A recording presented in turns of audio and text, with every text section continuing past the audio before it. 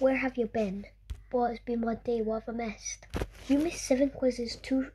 You missed seven quizzes, two tests, and eight project. Okay, from one day of school, one day off. Oh, and get this: there was elephants and tigers. Um, there was an elephant and tiger fighting in the hallway. Isn't that crazy?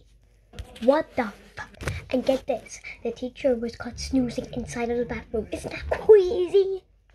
How could I miss all of that in just one day? Oh yeah, and almost forgot. There was seven fights in the hallway as well after the tiger and elephant are gone.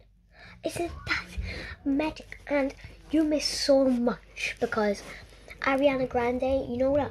Ariana Grande performed in her classroom and gave us free merch and free money, like a thousand money. And now I've got this pink hair. So yeah, that's why I got pink hair. Molly, come get your three missing homeworks and eight. You score.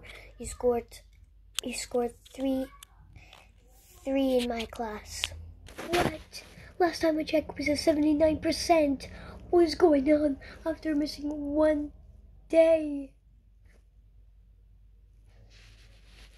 Sorry, it was on here. After missing one day, what the